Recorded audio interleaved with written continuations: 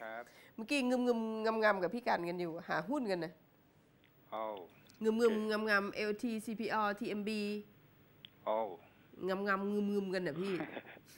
ก็ไม่รู้จะได้อะไรกันหรือเปล่า ครับ ผมเอางี้ก่อนนะฮะอะคือว่าคือเซ็ตเนี่ยก็ล้างภาพลบเมื่อวานนะฮะค่ะ คือทำให้เส้น moving ของเซ็ต moving สิบวันที่มันงอลงอะนะครับวันนี้มันงอกลับมาที่เดิมละเส้นนะฮะสิบวันอ่าสิบวันเมื่อวานกระดมักนงอลงเนี่ยมันกเป็ระนดกพาดขึ้นลบกระดกขึ้มันนเป็นสัญญาณลบนะครับ วันนี้มันขึ้นมาแล้วเป็นโดจินะครับอะโดก็เป็นจิสัญญาณกลับมาที่เดิมละโอ้คือล้างภาพลบได้โอ้ล้างแล้วล้างแล้วพี่ล้างน้องแล้วแล้วก็ไม่ได้ขึ้นแรงนะฮะไม่ขึ้นแรงก็เรียกว่าไม่ได้รีบาวด์นะฮะเอ้าเหรอส่วนหุ้นที่เราเลือกให้มาเช้านะครับอืมตก็รูจะเป็น KTB ตรูอ่า TMB เค True นะฮะเป็นกลุ่มรับเหมาทั้งกลุ่มนะฮะ CK หรือเป็น ITD อ่าสเต็กนะฮะอืมแล้วก็เป็น BGS นะครับก็ BTS ถูกนี่ลงมากรุงเทพอ่าโรงพยาบาลกรุงเทพคิดว่า BTS เนาะมันมาอ่าแรง BGS ก็กลายเป็นคนฟังผิดหรือเปล่าเป็นเออ BTS ขึ้นด้วย คือคือผมสรุปว่า อ่าขนาดเนี้ยหุ้นขนาดกลางขนาดเล็กเนี่ยนะให้หุ้นขนาดกลางเนี่ยค่ะมันเป็นตัวหลีตลาดอยู่นะครับค่ะคือมันตรงหมดเลยนะครับ ก็แสดงว่าใช่แสดงว่าเซ็ตเนี่ยยังปิดไม่ต่ำกว่าพันสี่ร้อยสี่เก้านะครับอืมก็ยังเดินหน้าต่อไปพันห้าได้อืมนะครับอ่าก็ ข่าวลือเมื่อวานก็คือถือว่าจบไปละค่ะค่ะนะครับหุ้นที่ต้องหลีกเลี่ยงก็ยังมีเหมือนเดิมสองตัว แล้วก็ไปวันเล่นตัวอื่นแล้วกันอินทัศน์เหรอคะอ่าวันอินทัศนะครับหรือหุ้นที่เกี่ยวกับคอสชเนี่ยค่ะเอ๊ะอะไรนะกสทชอะไรเนี่ยก็สอนะทฮะเขากำลังดูอยู่ว่าอะไรที่มันมันไม่ไม่ชอบมาปากลอะไรเนี่ยนะครับค่ะเขากำลังดูอยู่ครับเพราะมันคือ ถ้ามันมีข่าวไม่ดีเดี๋ยวเราจะไปวูบว่าแบบเสียเวลาเราอะนะอืมมอันนี้ True เนี่ยก็ขึ้นมาถึงที่เราพูดกันสิบบาทชินะคบะรับอ่ามันก็จะเจอแรงขายนะฮะค่ะนะครับ ใครที่ซื้อมาพร้อมกันวันแรกนะครับ เมื่อแปดวันที่แล้วอะนะครับเจ็ดบาทสิบตังค์ก็ถ้าสิบบาทก็จะกำไรสี่สิบเปอร์เซ็นขายถือบ้างเถอะถือว่าเยอะมากนะครับ ก็ถ้าเศรษฐกิจพอเพียงนะค่ะขายขายครึ่งแปดหงวันสี่สิบเปอร์เซ็นก็แบ่งขายไปสักครึ่งหนึ่งง หรือขายไปหกสิบเปอร์เซ็นเนี่ยที่เหลือก็จะเป็นกำไรล้วนเนาะๆอ่าแล้วก็เราสามารถถือสี่สิบเปอร์เซ็นเนี่ยซึ่งเป็นกำไรล้วนๆเนี่ยดูไปยาวๆได้เลยถือไปจะสองพันจุดอะอาจารย์เอออย่างเงี้ยอย่างเงี้ยจะทำให้เราถือพอทูเทียบไปเรื่องของทูเป็นเรื่องเล่ายาวเออนะครับ เรื่องเล่าไม่ถึงว่าเราจะไปอิงจีนฝรั่งจะว่าไงไม่รู้เราจะอิงจีนค่ะดังนั้นเรื่องของทูก็จะเป็นเรื่องเล่ายาวค่ะนะครับ วิธีการที่จะถือหุ้นทูไปต้องทำแบบนี้นะครับอืมคือถือโดยไม่มีต้นทุนค่ะนะครับมันอาจจะไปเท่าไหร่ก็ได้นะเราก็ไม่ต้องเป็นผู้ถือหุ้นที่ไม่มีต้นทุนนะนะฮะค่ะก็ขายไปที่แถวเนี้ยขายไปก็เถอะเหลือกำไรเนาะนะครับแหมมันก็เป็นวิธีกระบวนการที่แก้เรื่องจิตวิทยาการลงทุนพอนะคจะรับได้ก็คิวคือว่าคือปือเราไม่มีต้นทุนน่ะ มันจะค่ะขึ้นมันจะลงมันเท่าไหร่ก็ได้ แล้วก็ถือไปถูกไหมครับเออซื้อมาล้านหุ้นก็ขายไปสักหกแสนเนี่ยเออหกแสนคือต้นทุนไงโอเค ใช่ไหมมันก็เป็นเออวิธีแก้เรื่องเรื่องกลัวขาดทุนไงค่ะค่ะนะครับ เพราะว่ามันก็ถึงเป้าหมายแล้วสิบาทใช่ไหมค่ะ แล้วก็พอเพียงอืม KTB มาแรงนะแรงนะก็มันจะมีสองตัวคือ K-Bank กับ KTB ฮะที่ผมบอก โดดขึ้นเลยนะพี่ปื๊ดเลย ใช่บิแต่ BBL ไม่ขึ้นเนาะอ่า BBL มันก็เราพูดถึงที่เราเลือกให้เราดูพื้นฐานหมดนะค่ะนะครับ คือ BBL ตอนเนี้ยหุ้นที่จะขึ้นเนี่ยคุณม่อนมันจะเป็นตัว G ค่ะ government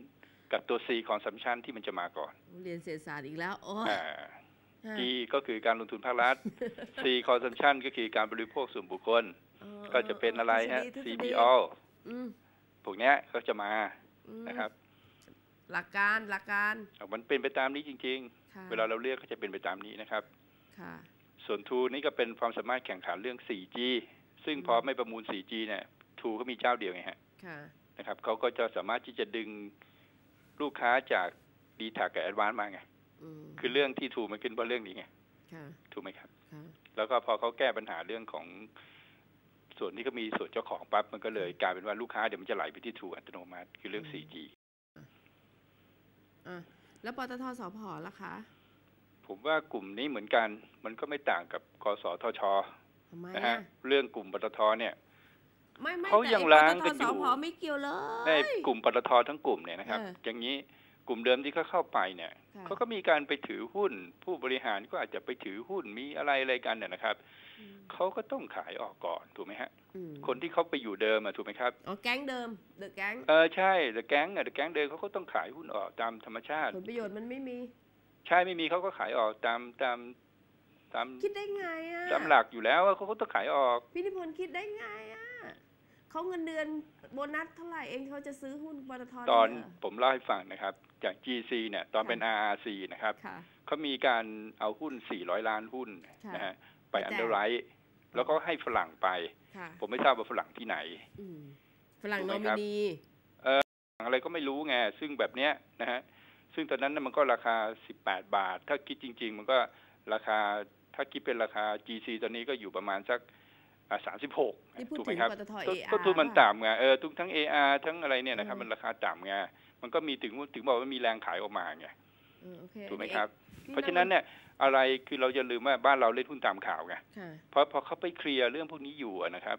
เราก็หลีกเลี่ยงก่อนดีไหมเอาดักไม่ได้อะพี่กันบอกดักอะถ้าแน่ใจพื้นฐานก็ดักดิเอาให้วอลุ่มมันหมดก่อนได้ไหม คือคือเขาเรียกให้แห้งก่อนอะเด็กเทคนิคเขาบอกให้วอลลุ่มหมดค่ะเออคุณให้ผู้ชมขายจนวอลุ่มแห้งไงเออเออเออได้ได้ตอนนี้วอลุ่มมันยังโอ้โหบิดออฟเฟอร์ช่องเราเป็นล้านเนี้ยเออเออวันหนึ่งวอลุ่มยังเป็นพันเนี้ยค่ะใจเย็นเออได้ได้พื้นๆนะฐานครับมันเพแน่ราะว่าอยู่แล้วตุงใช่ไหมบัตทอมนะฮะตุงค่ะบัตทอมที่เป็นคลื่นสี่วอลุ่มต้องไม่มีค่ะตราบใดถ้าวอลุ่มยังไม่อยู่ยังเป็น A ยังเป็นสูตรของขึ้น A เสมอนะฮะออีกเพราะฉะนั้นอย่าเพิ่งสีอ๋อเอออย่าเพิ่งเข้าสพก็ยังไม่ต้องเข้า สพผมว่ามันไม่ค่อยเกี่ยวเท่าไหร่นะนั่นแหละก็เหมือนกันแหละเห็นสมันพไม่แดงค่อยเกี่ยว แต่ตัวสำที่ผมพูดถึงคือ G4 อะมันยังโดนขายอยู่นะฮะส่วนตัวโรงกลั่นเนี่ยนะครับค่ะมันไม่มีอะไรมันบาเป็นงร้านจากโชว์กับหวบางยจากทำไมตกตก มันเป็นร้านโชว์หวยอืมพวกบางจากพวกนี้มันเป็นร้านโชว์หวยค่ะนะฮะมันไม่มีอะไรที่จะมามาแบบมากระตุ้นเรื่องของอะการเจริญเติบโตของกิจการเนี่ย เพราะฉะนั้นน่ะมันก็ไม่ใช่หุ้นที่น่าสนใจ เพราะกำลังกำลัง บอกกันต่อว่า ถ้าจะเป็นอาเซียนเนี่ยมันมีอะไรฮะอ่าบริษัทที่จะเติบโตในอาเซียนโรงกลั่นบอกอะก็ไม่ได้ขยายขยายกำลังการผลิตอะไรกำลังการผลิตก็เต็ม capacity อะมันก็คือเหมือนกับร้านโชว์หวยที่ไม่ได้ขยายกิจการเนี่ยรายได้มันก็เท่าเดิม มันก็เป็นไปตามราคาน้ำมันถูกไหมฮะฮะก็ไม่มีคือไม่น่าสนใจอะไรไงอืถูกไหมครับฮะมันก็ไม่น่าสนใจอะรถไฟฟ้าล่ะ รถไฟฟ้าก็เก้าบาทแล้วอะ รถไฟฟ้าก็เก้าบาทขายไงอ้ายยะจริงเหรอเก้าบาทขายแปดบาทซื้อไงเก้าบาทขายแปดบาทซื้อจริงไหมเออเออเออก็พูดบ่อยมากเลยเออพูดหน่อยไหมแหมจะเอาเก้าบาทห้าสิบก็ไม่ได้นะเก้าบาทแบ่งขายอะอะเหลือแเก้าบาทห้าสิบขายอีกส่เอาวนหมืนึ่องหนึ่งเออ เออเงี้ยจะได้ไม่เสียดายมือหนึ่งเอเก้าอบาทแบบตั้งเนี้ยตั้งตั้งเออโอ้โหสิบเจ็ดล้านใครจะซื้ออะ ก็บอกไงใกล้ๆเดี๋ยวนี้ก็ขาย เพราะว่าหุ้นเนี่ยมันยังไม่มีอะไร โอ้นะครับใครใครใครใครตั้งทั้งประเทศเลยเก้าบาทสิบบาทนั่นแหละ ใครขายสิบเจ็ดล้านอะเออใครจะซื้อล่ะเออส่วนส่วนทีเฟกค่ะนะครับ ก็มีสัญญาณซื้อมาแต่เมื่อเช้าที่บอกไปค่ะนะครับเป็นสัญญาณรองมาแล้วนะครับค่ะสัญญาณรองมาก็เป็นข้างล่างรองสี่ใช่ไหมเฟกครับเหนื่อยอืมอ่า ก็ข้างล่างรองมานะครับ ก็ตรงนี้ก็ดูแถวๆนะครับ สัญญาณรองเกิดขึ้นมาเช้าที่ 976 นะครับ ตอนนี้ก็ยังเป็นรองอยู่นะครับ ดูแถวๆ982 นะครับ ก็ 984 ก็ปิดไปก่อนอืมนะครับอืมวันจันทร์น่าจะขึ้นต่อนะครับอืมให้ดูแพทเทิร์นของถ้าหุ้นจะขึ้นต่อให้ดูแพทเทิร์นของวันนี้นะครับ ห้ามเปิดโดดต้องทำแบบวันนี้นะครับ เปิดต้องลงก่อนนะเอฮะอใช่เมื่อเช้าเปิดลงเนาะต้องต้องทำแบบนี้ถ้าหุ้นขาขึ้นเราสังเกตว่าก่อนหุ้นจะลงอะนะครับ มันเปิดขึ้นทุกวันเลยอืมอืมแล้วมันก็ลงทุกทีถูกไหมครับแต่พอหุ้นจะขึ้น มันต้องเปิดโลแล้วปิดไฮให้ได้แบบนี้อ่านะครับท่องไว้แล้วจนมันไปเปิดโลเคลียร์นะครับ RSI นะครับ ต้องสูงกว่า 74เมื่อไหร่เนยนะครับ หุ้นถึงจะเปลี่ยนเป็นขาขึ้น ตอนนี้เท่าไหร่ฮะ ISI RSI ของเซตตอนนี้มันอยู่ที่ 61เองอ๋อรอนะอีครับกสักหน่อย มันต้องไปเคลียร์ divergence ที่อ่า74.8 ให้ได้นะครับจุดแปดด้วย อ่า ซึ่งมันยากมากนะ มันยากมากนะฮะ ตอนนี้มันอยู่ที่ 61เองมั นนะครับมันต้องหต้องเลยเปิดไฮปิดโล เปิดไฮปิดโลเนี่ย แล้วก็ไฮมันอยู่ที่หนึ่งหนึ่งสี่เจ็ดเท่าไหร่นะครับ มันอยู่ที่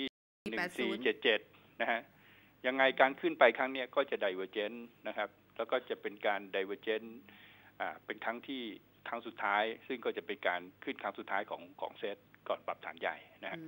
มถ้าถ้าขึ้นไปก็ divergence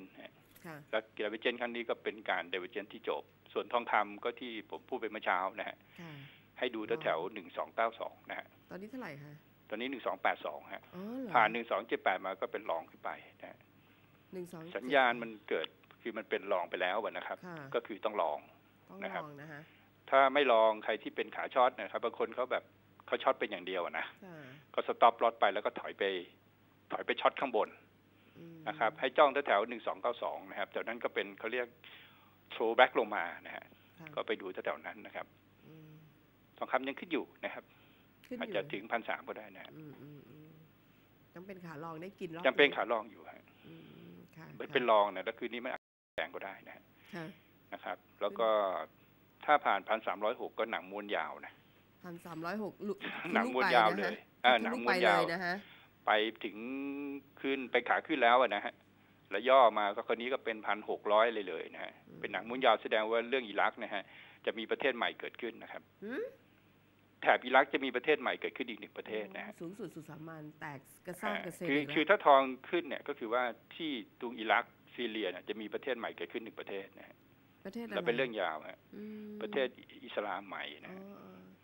ค่ะค่ะค่ะอื้อหือน่ากลัวเนาะไม่น่ากลัวไม่น่ากลัว ไม่ไม่ไม่ใช่คือประเทศเขาเป็นประเทศอยู่แล้วไปแตกแยกประเทศเขาอะเออก็เอาเอาอีกสามประเทศมารวมแล้วเป็นประเทศเดียวนะฮะโอ้ยเหมือนเนาะอืมในอดีตเคยเจอเกาหลีเหนือเกาหลีใต้เวียดนามเหนือเวียดนามใต้อืมแย่จังค่ะ ก็ดูดู แต่ว่าตลาดก็คือปิดในในตรงนี้โอเคนะคะ พี่นิพนธ์พันสี่ร้อยเอ่หอกสิบตสลาดองพอมันปิดแถวนี้มันเคลียร์สัญญาณเมื่อวานนะฮะจริง ๆ แล้วในหุ้นที่เป็นขาขึ้นนะ moving สิบวันเนี่ยมันห้ามมันห้ามหักลงค่ะมันห้ามหักลงหนึ่งวันการปิดแถวนี้ทำให้ เซ็ตมันขึ้นมายืนเหนือสิบวันได้นะครับค่ะเพราะฉะนั้นเนี่ยมันก็บอกว่าวันวันพรุ่งนี้มันก็ต้องยืนต่อให้ได้นะอืมนะครับ แล้ววันนี้มันไม่ใช่เป็นการ rebound แรงค่ะๆแล้วการขึ้นเนี่ยมันก็ไม่ได้ขึ้นเหมือนกับว่า ไม่ได้เกิดจากการที่แอดวานซ์อินทัชเนี่ยดีแทคบวกบวกแรงๆเออเออเออมันขึ้นมาจากหุ้นที่มันเป็นขาขึ้นค่ะมันไม่ได้เกิด True การ KTB ขึ้นจากหุ้นที่เป็นขาลงอ๋อเพราะฉะนั้นเนี่ยถ้าวันจันทร์มันมีการขึ้นของหุ้นที่เป็นขาขึ้นอีก อย่างเงี้ยมันก็คือยังไปต่อได้อยู่นะฮะคือต้องขึ้นจากหุ้นขนาดกลางขนาดเล็ก หรือหุ้นธนาคารพาณิชย์นะครับผมเรียนอย่างนี้นะครับค่ะเป็นกลุ่มไม่ได้ของเขาขึ้นจากกลุ่มสื่อสารค่ะอ่าคือ Advanced i n t o u c h d t a c ค่ะถ้าขึ้นจาก Advanced i n t o u c h d t a c เนี่ยคือแสดงว่าตลาดเป็นรีบาวด์อ๋ออัอันนี้จะขึ้นต่อไม่ได้เออเออใช่เพราะ Advanced i n t o u c h d t a c เนี่ยเป็นขาลงค่ะกำลังทำขึ้น C อยู่นะครับอืมขึ้น C ก็คือจะต้องลงไปที่เดิมอะผมสรุปว่าอย่างนั้นนะครับค่ะ อืมค่ะก็ค่อยๆช่วยหน่อยคือกลุ่มแบงก์มาใช่แล้วพวก True ที่มันยังยืน uptrend อยู่ก็ไปใช่นะฮะอ๋อทรูแจ๊สเนี่ยแจ๊สเป็น sideway เนี่ยไม่เป็นไรค่ะแต่ตัวที่มันเป็นขาลงเนี่ยก็คือ d t แท็กค่ะทาร์ดแอดวานซ์เนี่ยมันเป็นขาลงค่ะที่มันขึ้นมาเนี่ยมันเป็นขึ้น B มันกำลังทำขึ้น C ขึ้น C ของมันเนี่ยเขาเรียก running correction นะครับ ซึ่งมันอาจจะลงไปที่ low เดิมที่เราเคยเห็นก่อนหน้าเนี้ยค่ะนะครับ อืมเพ ราะฉะนั้นเนี่ยถ้ามันขึ้นแรงเมื่อไหร่ก็คือตลาดมันจะ rebound หรือตลาดจะไปไม่รอดอืมแต่แบบนี้ดี ถ้าเออถ้าขึ้นแบบนี้ดีค่ะนะครับ เพราะฉะนั้นเราก็ดูแล้วกันว่าแอดวานซ์พวกเนี้ยมันอย่าขึ้นแรงอืมอย่ามัน reboundด์ได้อย่าขึ้นแรง แล้วมันก็ต้อง sideway อยู่นะอย่างยกตัวอย่างสองหนึ่งห้าสองสองศูนย์อยู่แถวเนี้ย ไม่ไปไหนอย่างเงี้ยนะครับ อันนี้ตลาดจะขึ้นได้นะครับอืมค่ะค่ะก็ก็ก็ดีนะฮะค่ะพี่นิพนธ์ในงานของพี่วันเสาร์ใช่ไหมครับเต็มแล้วครับ โอ้โหแล้วหนังสือเดี๋ยวจะเอาไปพอไหมเนี่ยพันคนตออะมันพันแล้วโอ้ต้องเดี๋ยวม่อนเอาไปครึ่งหนึ่งก็แล้วกันจะให้คนเขาแบกไว้ให้ ขายลดราคาเลยนะอะพิเศษได้งานพี่อะมาเลยไงก็ขายหมดอยู่แล้วปกติร้อยยี่สิบาท ขายแค่ร้อยเดียว ได้ได้แบ่งได้แบ่ง กันหเล่มน่นี้อยดีใช่ไหมคุณม่อนเรื่องนี้ดีไม่มีที่ไหนทำเหมือนเราฮะเล่มปกเล่มนี้นะคะพี่อ่าอ่าปกเล่มประวัติศาสตร์ประวัติที่เราได้เจอในยุคของเราอะฮะเป็นเป็นหน้าท่านเลยใช่ไหมใช่ยุคคอสชคอสชโอ้กระดานเขียวอะคิดดูดิมีเรื่องนะคุณม่อนค่ะ อยากให้ทำเลยนะค่ะ คือผมอยากให้ทำนะก็คือว่าไหนๆก็ทำแล้วนะค่ะ ประเทศไทยเนี่ยจะแก้ปัญหาเศรษฐกิจได้นะคุณม่อนรู้ไหมว่าเรื่องอะไรอู้หู ไม่กล้ารู้ค่ะ ไม่ผมจะบอกให้เลยนะฮะคือถ้ามาแล้วไม่ทำนะ ถือว่าล้มเหลวหมดเลย อ่าเรื่องอะไรคะโรงไฟฟ้าฮะอ๋อใช่เพราะตอนตอนนี้เราเป็นเมืองขึ้นพม่า เป็นเมืองขึ้นของเราใช่คุณต้ต้อองงทำโรงไฟฟ้าซื้อไฟฟ้าจากเนี่ยที่โรงไฟฟ้าถ่านหินพม่าโรงไฟฟ้าลาวอะไรเนี่ยนะคือคืออย่างเงี้ยคุณต้องหาสถานที่ทำโรงไฟฟ้าค่ะนะครับก็โรงไฟฟ้าที่ไม่ชุชนมีใครยอมอะสถานที่ที่ไม่ให้ทำโรงไฟฟ้าเนี่ยให้ได้อืมถึงจะถือว่าการ การรัฐประหารครั้งเนี้ยประสบความสำเร็จใช่ใช่เพราะประเทศไทยเป็นเพราะว่าไม่มีอบตไหนยอมให้ทำสถานเอาจริที่งสร้างเปล่าโรงไฟฟ้าฮะเขาให้ทำแต่ต้องใช้เงิน 80 ล้านต่อที่ ที่ไหนก็ได้มาทำให้จบ เพราะว่าจุดอ่อนของเศรษฐกิจไทยขณะนี้นะครับค่ะแทถ้าคุณไม่แก้ปัญหาตรงนี้เศรษฐกิจไทยจะมีปัญหา อีกห้าปีข้างหน้านะคะไม่อีกกี่ปีข้างหน้าอีกไฟฟ้าไม่ชั่วมีลูกชั่วหลานเราถ้าไม่แก้ปัญหาเรื่องพลังงานไฟฟ้าเราจะมีปัญหา คุณผู้ชมนะครับเพราะฉะนั้นเราต้องซื้อสร้างไฟฟ้าโรงไฟฟ้าให้ได้ตอนนี้นะครับ ภาคอีสานใช้ไฟฟ้าจากลาวนะครับ ค่ะ ภาคใต้ใช้จากพม่า ค่ะภาคไฟกฟ้าลางของเราเองนะครับ เราเราก็คือมีจุดอ่อนเรื่องไฟฟ้าทั้งหมดค่ะนะครับ เพราะฉะนั้นเราต้องสร้างโรงไฟฟ้าถ่านหิน ค่ะถ่านหินมันไม่ใช่ไม่ใช่ลิกไนท์นะครับ ถึงแม้เราใช้โรงไฟฟ้าถ่านหินเนี่ยเราก็ยังต้องพึ่งถ่านหินจากอินโดนะฮะเออแต่เราต้องสร้างนะครับ เอ้าเขาจะสร้างไฟฟ้าพลังงานแสงอาทิตย์เอาเอาแสงอาทิตย์กับถ่านหินราคามันต่างกันครึ่งหนึ่งคนละเท่าเลยนะครับ ฐานนี้ก็ต้องไปซื้อเขาอ่าพวกเนี้ยมันเป็นระยะยาว พลังงานแสงอาทิตย์เนี่ยครับก็คือถ้าจะทำนะครับ ต้องสร้างโรงงานนะครับ สร้างแผงสร้างโรงงานที่สร้างแผงเนี่ยให้มันราคาถูกเองให้ได้อืมอืมนะครับ ถ้าอยากรู้ว่าทำไงก็ไปถามที่จีนเขานะครับอืมจีนทะแล้วลักก็ติดตลามันทุกหลังคาบ้านเลยประเทศไทยน่าทำมากนะครับเออนี่คนไทยอยู่โดยไม่รู้เหนือรู้ใต้ว่าพลังงานนี้เราเราซื้อเขาใช้เนาะถ้าเราไม่ต้องส่งค่ะต้องต้องต้องเสียเงินนะครับอืม ส่วนใหญ่ที่ที่เป็นเงินไปสั่งสินค้าเข้าวันเนี้ยนะครับ คือพลังงานเนี่ยนะครับ ประเทศไทยจะเป็นประเทศที่ร่ำรวยเออมากๆนะครับค่ะเรามีเงินที่จะไปพัฒนาประเทศแม้กเอ๊ะระทั่งแล้วรทำไมถไฟฟ้าเป็นเร็วสูงเนี่ยได้ค่ะเลย แล้วนะทำไมเขาไม่คิดไม่ทำกันนะนะทั้งที่รู้ว่ามันต้องหมดจากประเทศต้องไปซื้อจากชาวบ้านเขาอะคือไม่ใช่คิดไม่ทำมันทำไม่ได้ เพราะเพราะว่าอะไรเรื่องเราเพราะเพราะไอ้ระบอบประชาธิปไตยที่มันอ๋อมีมาเดิมเนี่ยนะครับอ๋อเราเคยจะทำโรงไฟฟ้าบ้านหินกูดใช่ไหมครับค่ะมันก็ทำไม่ได้ ก็ทำให้มันดีไปเขาไม่ยอมให้ทำที่ไหนก็ไม่ยอมให้ทำเขาบอกว่าไม่ไปทำที่บ้านมึงอะอืมถ้าดีก็ไปทำที่บ้านมึงดีค่ะคือปัญหาเนี่ยนะครับ มันเป็นแบบนี้อ๋อคือถ้ามันไม่แก้เรื่องไฟฟ้าเนี่ยผมว่าก็คือ มันจะเป็นปัญหายาวมากนะนี่คปรับระเทศไทยเขาไม่รู้สึกตัวบางคนไทยเขามัวแต่แบบ ใครจะเป็นรัฐบาลใครจะทำรางคู่หรือเปล่า มันไม่ใช่อะปัญหาอืมมันเรื่องพลังงานฮะวันนี้ค่าใช้จ่ายของเราที่เราต้องจ่ายออกไปเงินเงินตาต่างประเทศที่เราต้องเสียไปเนี่ย เราเสียไปจากค่าพลังงานนะฮะอย่าไปมุ่งว่าเราต้องไปซื้อน้ำมันมาอะไรมานะครับ ไฟฟ้าเนี่ยมันจะกลับมาทดแทนเรื่องพลังงานน้ำมันทั้งหมดรถเราอาจจะเปลี่ยนเป็นรถที่ใช้พลังงานไฟฟ้าโอ้นะยคอรับย่าเพิ่งคิดเลยไกด์ปะแล้วมันจะแก้แก้ได้ทั้งหมดเออไฟฟ้าเป็นต้นของต้นแบบต้นอะไรฮะพลังงานหลักทั้งหมดเลยนะฮะค่ะของการเป็นพลังงานทั้งหมดนะฮะเออเนาะถ้าทำได้มันก็จบฮะเออเออเพ ราะเดี๋ยวนี้ใครครองเขาเรียกพลังงานก็จะเป็นมหาอำนาจของโลกพลังงานคือพลังงานไฟฟ้าครับอืมอืมอะไรก็ได้ที่มันผลิตเป็นไฟฟ้าเดี๋ยวมันต่อเป็นพลังงานอย่างอื่นได้หมดนะฮะอืมนะผมว่าเขาคิดนะครับ เขาคิดเหรอเขาต้องคิดถ้าไม่คิดก็ผมพูดแล้วเนี่ยเดี๋ยวเขาไปคิดอย่างเงี้ยเออเขารับฟังหมดฮะอุ้ยพี่นิพนธ์ช่องเรานี่ช่องเล็กอ๋อแต่เขาฟังเขาฟังเขาฟังครับ โอ้ยแต่เราที่ม่อนทำหนังสือ มีคนฟังเราเยอะคุณม่อนสต็อกรีวิวเล่มนี้ก็พลังงานทางเลือกกู้ชาตินะจะบอกให้ พลังงานทางเลือกนะครับเออคุณเราม่อนคิมัดนอนิย่าดงนั้นเดียวเลยมันเป็นสัดส่วนหนึ่งเปอร์เซ็นสองเปอร์เซ็นค่ะมันเป็นสิ่งที่จำเป็นนะครับพลังงานทางเลือกก็ไม่ต้องกลัวว่าจะมีโรงไฟฟ้าถ่านหินและพลังงานทางเลือกเนี่ยนะครับจะถูกเบียดบังไม่ต้องไปกลัวนะครับ เพราะว่ามันขาดอีกเยอะมากนะครับ พลังงานทางเลือกเป็นสิ่งที่จำเป็นค่ะค่ะมันเหมือนกับว่ามันต้องมีทดแทนน่ะอืมมันต้องมีไว้เป็นพลังงานทางเลือกเขาเขาบอกแล้วว่ามันเป็นทางเลือก มันไม่ใช่ทางหลัก ทางหลักตัวนี้มันขาดอีกเยอะมาก อืมอืมอืมอืมเนาะบ้านใช่เราลืมนึกถึงเลย เรามัวแต่อะไรก็ไม่รู้รถไฟฟ้า เมกะโปรเจกต์เรื่องไฟไร้สาฟ้าระนี่แหละ เรื่องพวกนั้นเนี่ยมันไม่ใช่เรื่องหลักฮะอืมอืมค่ะ เรื่องที่เป็นประโยชน์ปากท้องนานๆเนี่ย เรื่องพลังงานไฟฟ้านั่นเองเรานะดูคุณผู้ชมญี่ปุ่นนะฮะ ประเทศเขาเนี่ยเขาค่ะเขาเขาถึงขนาดต้องสร้างโรงไฟฟ้านิวเคลียร์ทั้งที่เขารู้ เขาเนี่ยอยู่ในเขตแผ่นดินไหวถูกไหมครับเออแต่เขาต้องเสี่ยงชีวิตแล้วสร้างวันหนึ่งพอแผ่นดินไหวขึ้นมา ลงไฟไฟฟ้าเขาขาดไปสามสิบเปอร์เซ็นต์ค่ะเขาวุ่นวายไปทั้งประเทศเลยนะจนกระทั่งวันนี้เราลองขึ้นรถรถอ่าไฟฟ้าบนดินของเราอะนะ BTS เนี่ยเหมือนอยู่เมืองนอกนะอืมเหมือนอยู่ประเทศญี่ปุ่นเลยนะค่ะมีแต่คนญี่ปุ่นเต็มรถไฟเลยอืมไฟฟ้าคือเขามาอยู่บ้านเราหมดแล้วอะ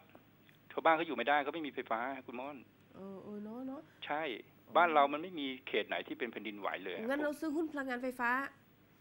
เกี่ยวมันไหก็คือเรื่องหนึ่งอะเรายังควบคุมราคาอยู่ค่ะคือเราไปไปกำลังไปทะเลาะกันเรื่องราคาแก๊สธรรมชาติราคาอืมพลังงานแล้วเรากำลังทะเลาะกันผิดทางหมดเลยเนาะประเทศคือไทยเอ่อชาติเพราะเราเราสามารถผลิตพลังงานไฟฟ้าได้เนี่ยนะครับค่ะเครื่องเครื่องยนต์มันอาจจะเปลี่ยนมาเป็นไฟฟ้าไปเลยนะ มันค่ะจะแก้ปัญหาเลยได้ไปอีกเยอะมากนะครับเออค่ะพี่อะ จริงๆแล้วก็คือเรื่องราวของไฟฟ้าในประเทศเป็นเรื่องสำคัญใช่ไหมคะใช่ครับอะช่วยกันคิดช่วยกันพูด ช่วยกันถามกันแล้วกันนะคุณผู้ใช่ชมครับค่ะเราเราก็คือแค่คิดนะฮะค่ะเพราะมันคงรายละเอียดอีกเยอะนะฮะเออออแต่เราก็คิดว่ามันต้องทำแหละเออนะครับค่ะค่ะได้ค่ะ ขอบคุณค่ะ ครับผมครับสวัสดีครับค่ะ